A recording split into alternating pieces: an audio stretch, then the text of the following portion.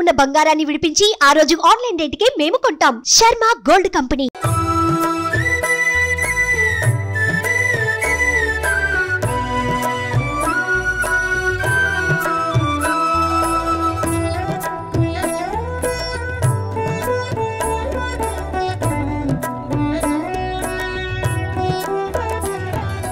నమస్కారం. Welcome to Suman TV. నేను గీతాంజలి. కొన్ని ఆధ్యాత్మిక విశేషాలు మాట్లాడదామని చెప్పి నేను ప్రముఖ ఆధ్యాత్మికవేత్త సాయి శ్రీనివాస్ గారి ఇంటికి వచ్చానండి. వారితో ఇలా మాట్లాడదాం వెయిట్ చేస్తూ ఉన్నాము. రమ్మని లోపలికి వెళ్ళగానే ఒక అమిత ఆశ్చర్యానికి గురయ్యాను నేను నా టీం అంతా కూడా. ఏమిటి అని అంటే ఎవరో ఒక వ్యక్తి కూర్చున్నట్లుగా కనిపించారు. ఎవరా అని చూస్తే బాబావారు. సడన్ అంటే ఒక్కసారి షాక్ అవుతాం కదా. ఆ రూపాన్ని చూసి ఫస్ట్ ఏదో ఒక తెలియని ఒక ఎమోషన్ అలా కనెక్ట్ అయినట్టుగా అనిపించింది అనమాట ఒక విఘ్నంగా అనిపించింది ఒక క్షణం. అలా దగ్గరికి వచ్చి చూస్తే నిజంగా బాబావారు అలా కూర్చున్నారా అన్న భావన కలిగింది నాకు. ఒకసారి మీరే ఇలా చూడొచ్చు.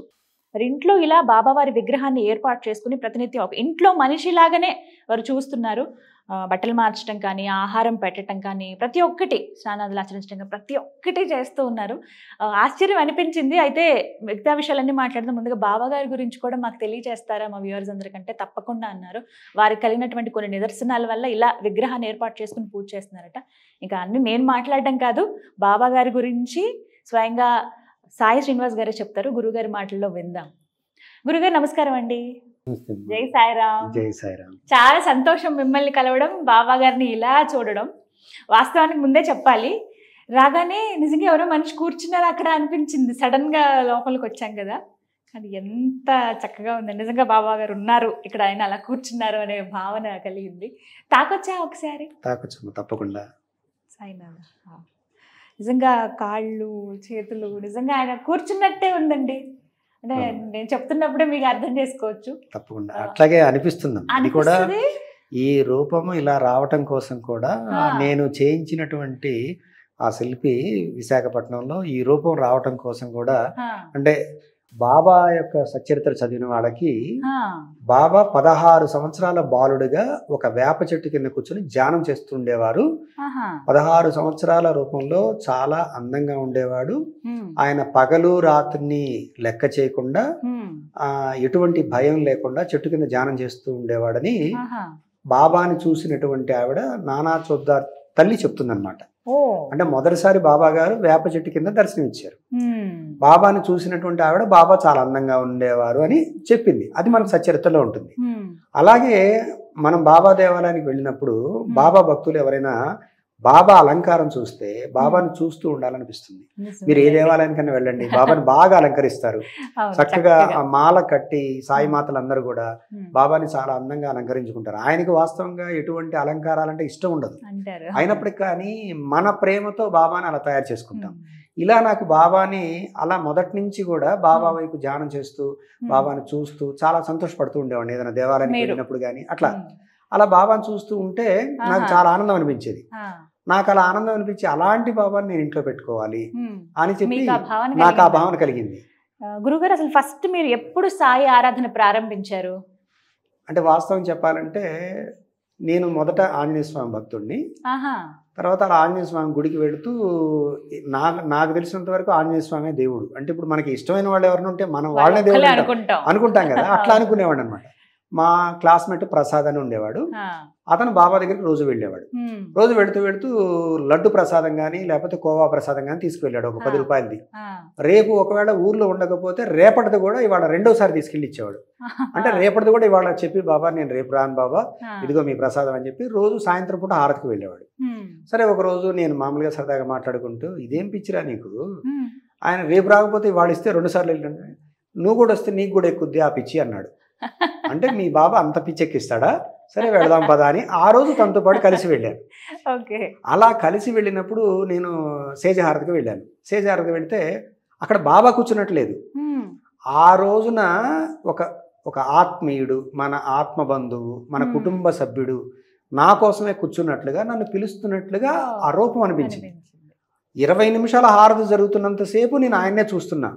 ఆయన నా వైపు చూస్తున్నాడు అదే రూపాన్ని ఆ రోజు నా మనసులో నేను ముద్రించబడింది అనమాట ఇక. అప్పటి నుంచి నేను బాబాని మర్చిపోలేదు ఇంకా ఆ రోజు నుంచి తను ఎలా ఎక్కించాడో కానీ ఆ పిచ్చి ఆ రోజు నుంచి నేను బాబా దగ్గరికి వెళుతూనే. ఉన్నాను దాదాపు ఎన్ని సంవత్సరాలు అయి ఉంటుందండి ఇది పంతొమ్మిది వందల తొంభై మూడులో జరిగింది. అలా ఐదు సంవత్సరాల పాటు ప్రతిరోజు కూడా సేజహారతికి వెళ్ళాను ఏ. ఊర్లో ఉంటే. ఆ ఊర్లో సేజహారతికి వెళ్ళేవాడిని. బాబా ఏ రూపంలో కనిపించాడో ఆ రూపాన్ని నేను చిత్రపటం వేయించి ఇలా బాబా గారిని చేసుకున్నాను మీకు ఇలాగే నాకు ఇలాగే కనిపించాడు. మొదటి దర్శనం నాకు ఇలాగే ఇచ్చాడు. అదే రూపం ఆ దేవాలయంలో. ఆ దేవాలయంలో విగ్రహం ఉంటుంది కదా అది విగ్రహంలా కనిపించలేదు. నాకు మామూలుగా నా వైపు చూస్తున్నాడు. నాకు ఆత్మీయుడు నా ఆత్మ బంధువు. నా కుటుంబ సభ్యుడు నాకేదో ఎన్నో సంవత్సరాల నుంచి పరిచయం ఉన్నట్లుగా నాకు అలా అలా అనిపించింది అనమాట అదే భావాన్ని నేను ఒక చిత్రపటం తయారు చేయించి అలా బాబా వారిని ఇలా నేను సజీవ మూర్తిలాగా. చేయించుకొని నిత్యం ఆరాధిస్తున్నారు ఎక్కడండి మీరు ఆర్డర్ చేసింది ఎక్కడ విశాఖపట్నం? విశాఖపట్నంలో అమ్మ విశాఖపట్నం. అతను మామూలుగా బొమ్మలు అవి చేస్తూ ఉంటాడు బాబా బొమ్మలు మిగతా. బొమ్మలు కూడా చేస్తూ ఉంటాడు అతను చేసినటువంటివన్నీ కూడా నాకు నచ్చి అతని దగ్గర చేయించుకున్నాను ఒక ఇది చేయించడానికి ఈ విధంగా రావటానికి. నాకు చాలా సమయం పట్టింది అయినా. కూడా నాకు బాబా రూపం నా మనసులో ముద్రించబడినటువంటి ఆ రూపం వచ్చేంత వరకు కూడా. నేను. రెండు మూడు సార్లు మార్పులు చేయించి? ఆ విగ్రహాన్ని తెచ్చుకున్నాను ఎన్నేళ్ళు పట్టిందండి మొత్తం ఇలా ఇది తయారు తయారవడానికి? సుమారుగా ఒక సంవత్సరం పట్టింది సంవత్సరం. దేంతో తయారు చేశారండి అసలు మనిషి ఉన్నట్టుగానే అనిపిస్తుంది నార్మల్గా మన. స్కిన్ మైనం మైనం. కదా అంటారు కదా వ్యాక్స్తో. తయారు చేసి. ముందు డై తయారు చేసుకుని తర్వాత అలా తయారు చేశారు సౌకర్యంగా ఉంటుంది మా ఇంట్లో ప్రతిరోజు కూడా బాబా గారికి.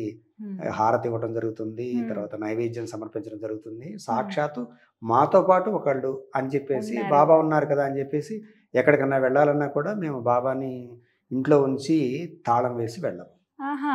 అంటే ఒక ఆయన ఉన్నారు ఆయన కావాలి కదా అని మేము ఏదైనా ఆహారం తీసుకుంటున్నా కానీ ముందు బాబాకి పెట్టిన తర్వాత. ఆ ఆహారాన్ని మేము ప్రసాదంగా స్వీకరిస్తాం అట్లా మాతో పాటు ఒక మనిషిలాగా. చూసుకుంటాం కానీ నిజంగా నాకు ఆశ్చర్యం ఏంటంటే ప్రతి ఒక్కటినండి నిజంగా మనిషి ఎలా అయితే ఉంటారో. చాలా మంది వచ్చిన క్లోజ్లో కూడా చూపిస్తాం చూడండి మనిషి ఎంత చక్కగా తయారు చేశారో వారు. కూడా మేము సాయి భక్తులేమో తయారు. చేసిన ఆయన కూడా నరాలు ఇలా పైకి కనబడుతున్నాయి కొంచెం ఇలా మడతలు పడినప్పుడు కొద్దిగా స్కిన్ నల్లబడుతుంది కదా అలా ఇక్కడ గోర్లు. నిజంగా ఉన్నట్టున్నాయి ప్రతి ఒక్కటి చేతి దగ్గర. అన్ని మొహం దగ్గర ఈ ముడతలు వస్తాయి వయసు. రీత్యా ఇవన్నీ ప్రతి ఒక్కటి యాజ్ ఇట్ ఈజ్ మనిషి కూర్చున్నట్టుగానే ఈ. భావన. ఎప్పుడు తీసుకొచ్చారు? ఎన్ని సంవత్సరాలు అవుతుంది బాబు ఇది కరోనాకి ముందు తీసుకొచ్చామమ్మా. కరోనాకి ముందు నాలుగేళ్ళు అవుతుందా?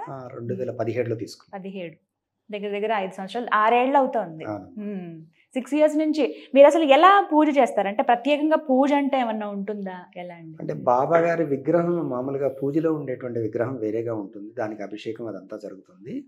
ఇక మేము ఏదైనా ప్రసాదం కానీ ఏదైనా నివేదన ఇంట్లో తయారు చేసుకున్నటువంటి పదార్థాలు పండగకి ఏదైనా ప్రత్యేకమైనటువంటి నైవేద్యాలు చేసినా కూడా అవన్నీ కూడా ఇక్కడే ఆయన సాక్షాత్తు సజీవ రూపంలో తీసుకున్నట్లుగా భావన చేస్తాము. ఓ, ఎవరైనా మా ఇంటికి వచ్చినప్పుడు శుభలేఖలు లేదా ఏదైనా పోస్టింగ్ ఆర్డర్స్ ఏదైనా అప్లికేషన్ పెట్టుకోవడానికి గురుగారు మీ చేతుల మీదుగా ఇవ్వండి అంటే ఇలా బాబా పాదాలు తాకించి బాబా. చేతికి పెట్టి బాబా వీళ్ళకి మంచి చేయి అని చెప్పేసి అట్లా బాబా గారి అంటే ఆ అనుగ్రహం వారికి రావాలి అనేటువంటి. ఆలోచనతో వారే వారిని దీవించినట్లుగా భావన చేస్తారు ఇప్పుడు కూడా. మా ఇంటికి వచ్చిన వాళ్ళందరూ కూడా అట్లా బాబాని తాకించి వాళ్ళందరూ కూడా బాబా అనుగ్రహాన్ని పొందుతూ ఉన్నారు చాలా అదృష్టం మామూలుగానే మీరు ఇందాక అన్నారు మందిరానికి వెళ్ళినప్పుడు బాగా ఆకర్షణీయంగా కనిపించేది అవును. బాబావారి రూపమే వారి వస్త్రాలంకరణ చాలా చాలా బాగుంటుందండి అంటే. కాంబినేషన్స్ కరెక్ట్గా Yes, ఉంటాయి yes. అండ్ దాంతో పాటుగా షిరిడీలోనే గమనిస్తే సమాధి పైన ఏ వస్త్రం అయితే కప్పుతారో అదే స్వామివారి పైన కూడా ఉంటుంది బాబా వారికి. ప్రతిరోజు కూడా. ఉదయం నుంచి సాయంత్రం వరకు కూడా. ఐదు సార్లు వస్త్రాలు మారుస్తారు మారుస్తారు ఐదు. సార్లు మారుస్తారు. నాలుగు హారతికి నాలుగు ప్రత్యేకమైన వస్త్రాలు ఉంటాయి. ఉదయం పూట అభిషేకం అప్పుడు వేరే వస్త్రాన్ని ధరిస్తారు. అట్లా అనమాట బాబా గారికి ఆ విధంగా అంటే బాబా గారి భక్తులు అంటే ఆయన కోసం కాదు బాబా గారి భక్తులు తనివి తీరా ఆనందించటం కోసం బాబాను అలా చూసుకుంటూ ఉంటారు. ఆ వస్త్రాల్లో సాక్షాత్తు ఆ తండ్రి ఎంతో అందంగా ఉన్నట్లుగా భావన. చేస్తాం ఎన్ని కలర్స్ ఉన్నానండి నాకైతే తెలుపు. ఒకటి పసుపు. ఒకటి వేసినప్పుడు చాలా బాగా కనబడుతుంది మా ఇంట్లో ఏదైనా పండగ వచ్చింది అంటే మేము బట్టలు తీసుకుంటున్నాం అంటే. బాబా కూడా తీసుకుంటాం అలా మా ఇంట్లో. ఆయనకి అంటే ఈయనకి ప్రత్యేకంగా బట్టలకే ఒక బీరువా ఉంటుంది అబ్బో ఇంట్లో మనిషి లాగానే ఇంట్లో ఇంకా. మనిషిలాగా ఇంట్లో మనిషి ఎలా ఉంటుందో మేము. అలాగే మాతో పాటు ఆయన కూడా మా ఇంటి సభ్యుడే కుటుంబ సభ్యుడు అనమాట. గురుగారు విగ్రహం గురించి మాట్లాడదండి ఎంత బరువు ఉంటుంది ఇది బరువు అంతా కలిపి ఒక. పది కేజీలు ఉంటుంది పది కేజీల బరువు ఎంత ఖర్చు అయిందో తెలుసుకోవచ్చా అది ఖర్చు కాదమ్మా అది బాబా ఇచ్చినటువంటి గిఫ్టే నా దగ్గరకు వచ్చేటువంటి భక్తులు కొంతమంది సహకరించి గురుగారు ఆ దానికి అయ్యేటువంటి మొత్తాన్ని మేము భరిస్తామని చెప్పేసి. వాళ్ళందరూ కూడా కలిసి. ఆ బాబాకి ఎంత ఖర్చు అయిందో అతనితో మాట్లాడి ఉమ్. అతనికి ఇచ్చి? ఆ. విగ్రహాన్ని నా వరకు చేర్చారు వాళ్ళు ఇది భక్తులు. ఇచ్చినటువంటి ఒక రకంగా చెప్పాలంటే ఆ భక్తుల రూపంలో బాబా మా ఇంటికి వచ్చారు ఆ భక్తుల యొక్క మనసులో దూరి ఇలా బాబా ఈ రూపధారి అయి మా ఇంటికి రావడం జరిగింది ఇది ఒక ఏదో ఒక బొమ్మ లేకపోతే ఇంకోటి అని మేము అనుకోవటం లేదు. సాక్షాత్ బాబానే మా ఇంటికి వచ్చాడు అనుకుంటున్నాం.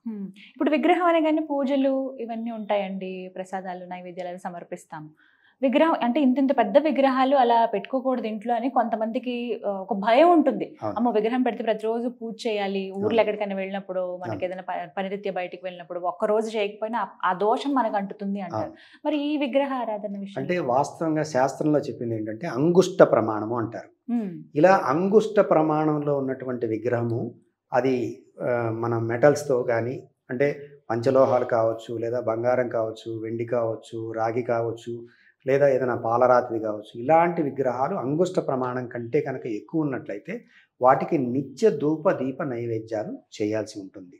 కానీ బాబా వారికి వచ్చేటప్పటికి బాబా వారిది మనం సద్గురు స్వరూపంగా భావిస్తాము. తర్వాత మనం చూస్తున్నటువంటి ఈ విగ్రహము ఎటువంటి లోహానికి సంబంధించింది కాదు ఎటువంటి రాయికి సంబంధించింది కాదు.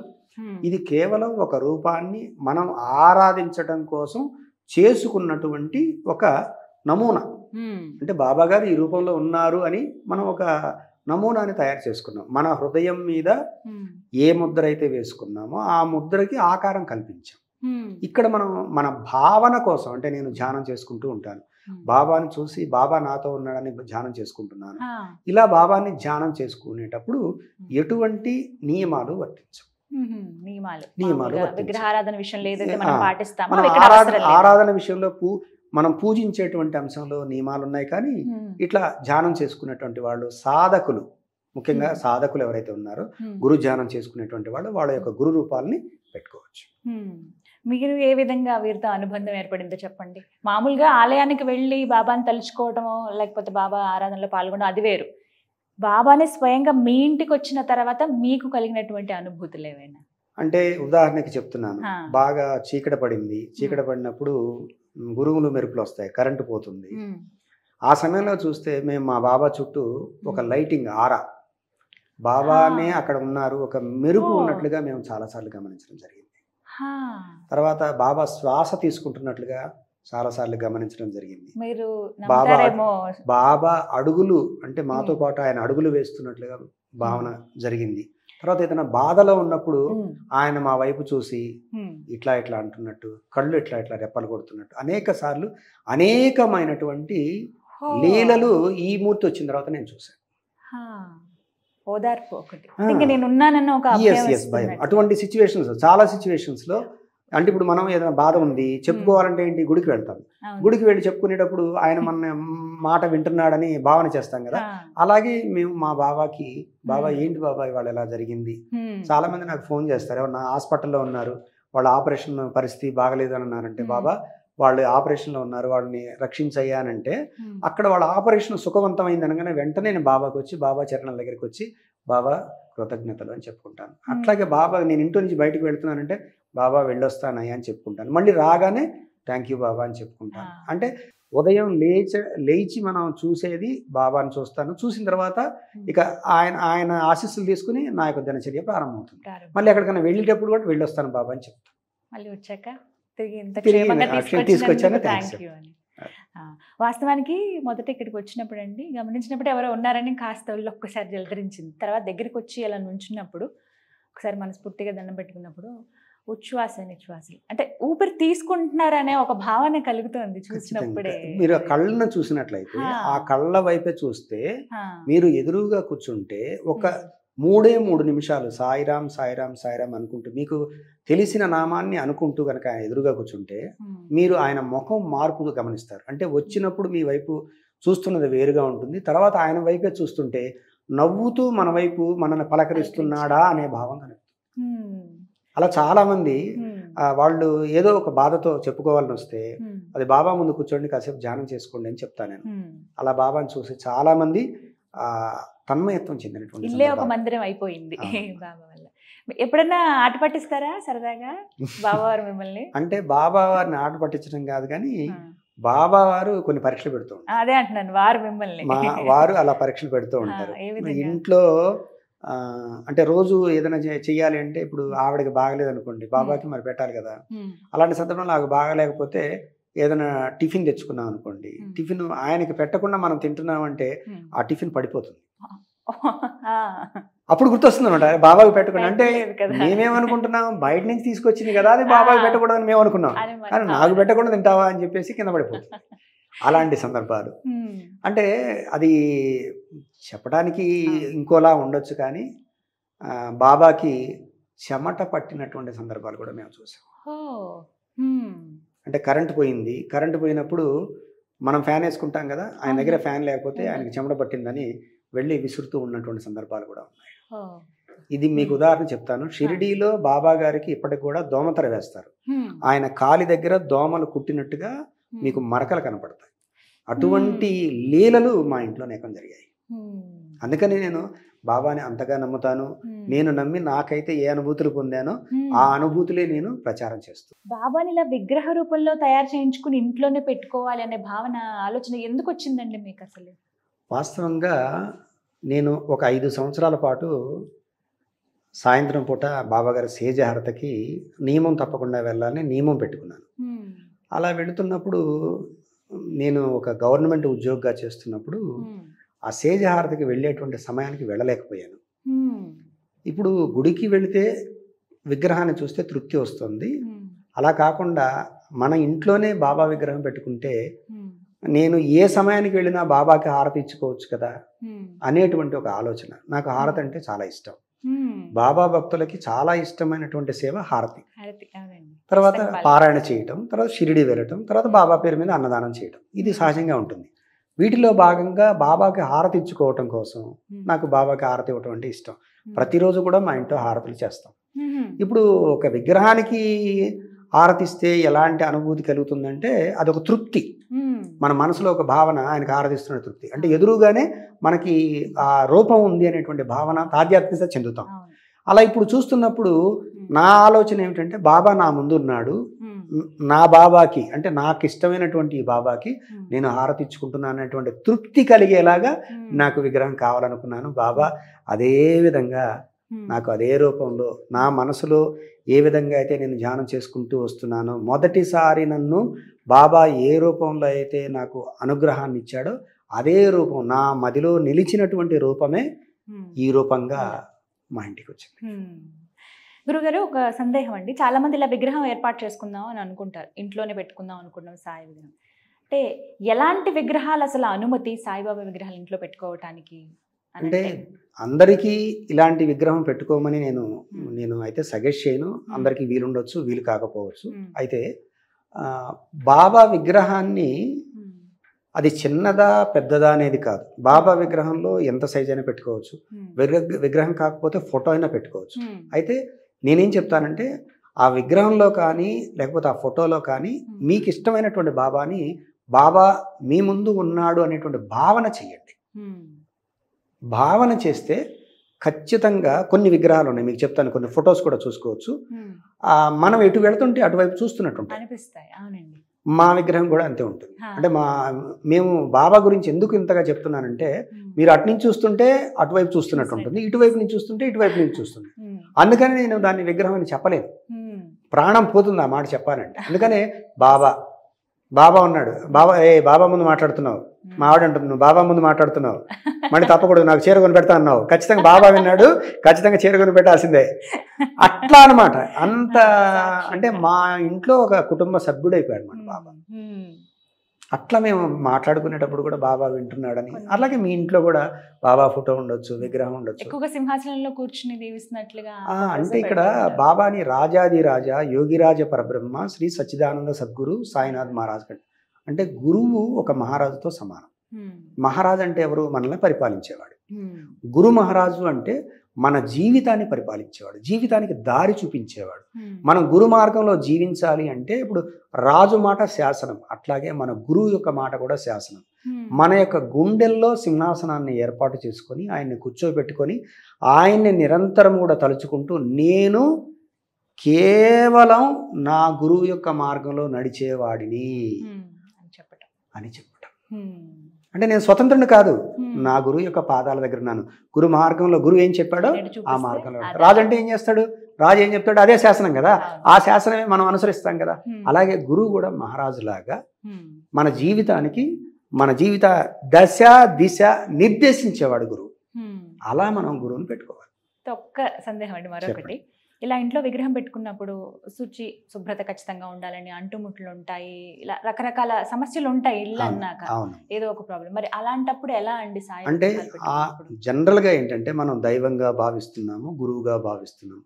శుచి శుభ్రత కోసమే ఈ అంటు ముట్టు మైల అనేది ఉంటుంది కాబట్టి. ఆ సందర్భంలో ఆడవాళ్ళు ఆ విగ్రహాన్ని తాకకుండా. ఇంట్లో ఉన్నటువంటి మగవాళ్ళు లేదా చిన్నపిల్లలు శుభ్రంగా శుభ్రం చేసి. చక్కగా బాబాకి వస్త్రాలు మార్చుకోవచ్చు. ఆ విధంగా కొన్ని నియమాలు అయితే పాటించాలి కనీసం ఇప్పుడు మనం ఆయనకి ఇవ్వాల్సినటువంటి గౌరవం. ఆయనే మన హృదయ నివాసుడైనప్పుడు అంతే. మనం ఎలా పాటిస్తున్నామో వారు కూడా అలాగే. మనం చూసుకోవాలి వారిని కూడా అలాగే చూసుకోవాలి మీ గురించి తెలిసినట్టు బాబా గారికి మీరు ఎంత కనెక్ట్ అయి ఉన్నారు ఎమోషనల్గా తెలుసు కాబట్టి. అందుకే పని మీద రావటం ఇలా చూడడం అనేది చాలా ఆశ్చర్యం అనిపించింది. థ్యాంక్ యూ సో మచ్ గురువు గారు మాకు ఈ అవకాశం దక్కింది. దగ్గరుండి చూసి తాకటమే అదృష్టం. అందుకే బాబాని ఇలా సుమన్ టీవీ ద్వారా ప్రతి ఇంటికి కూడా బాబాని పరిచయం చేసినందుకు సుమన్ టీవీ యాజమాన్యానికి మా బృందానందరికీ. మీకు ప్రత్యేక ధన్యవాదాలమ్మా అని చాలా సంతోషం అండి మరొకసారి కృతజ్ఞతలు తెలియజేసుకుంటున్నాం. ఈ అవకాశం మాకు ఇచ్చినందుకు చూసేటువంటి అవకాశం. దాంతోపాటుగా మీరేం చెప్పాలనుకుంటున్నారు? చాలామంది సాయి భక్తులు ఈ విధంగా ఆలోచిస్తారు ఇంట్లో విగ్రహాన్ని ఏర్పాటు చేసుకోవాలని. అలాంటి వాళ్ళు సంశయిస్తున్న వాళ్ళు ఉంటారు ఆలోచన సందిగ్ధంలో ఉన్న వాళ్ళు ఉంటారు. వారికి మీరు ఇచ్చేటువంటి సలహా. బాబా భక్తులకు నా మనవి. బాబాని మీరు ఒక సద్గురు స్వరూపంగా భావించినట్లయితే బాబా పట్ల అంకిత భావంతో బాబాని ఆరాధించండి. ఏవో మనసులో వచ్చేటువంటి సందేహాలు లేకపోతే ఎవరో చెప్పినటువంటి మాటలు ఎవరో ఏదో వీడియో పంపించారని అలా సంకోచాలు మనసులో పెట్టుకోవద్దు. ఎటువంటి సంకోచాలు పెట్టుకోకుండా మీ జీవితంలో బాబా ప్రవేశించిన తర్వాత మీరు బాబా పట్ల ఎటువంటి విశ్వాసంతో ఉంటారో అటువంటి అనుగ్రహాన్ని పొందుతారు. ఈ బాబా అనేటువంటిది మీరు బాబా రూపానికి పరిమితం కావద్దు. బాబా మీ పాలిట ఒక దైవంగా లేదా ఒక సద్గురువుగా లేదా ఒక దివ్య శక్తిగా మీరు భావించినట్లయితే బాబా పట్ల మీరు చూపించేటువంటి భావనలో విశ్వాసంలో ఆచరణలో బాబా యొక్క అనుగ్రహం ఉంటుంది. కనుక మీ ఇంట్లో విగ్రహం ఉందా లేదా పటం ఉందా లేకపోతే ఇంకోటి ఉందా అని కాకుండా మీరు విశ్వాసంతో బాబాని ఆరాధించండి బాబా అనుగ్రహాన్ని పొందండి. శ్రీ సచ్చిదానంద సద్గురు సాయినాథ్ మహారాజ్కి జై జై. సాయినాథ్. ధన్యవాదాలు గురువు గారు శుభమస్తు.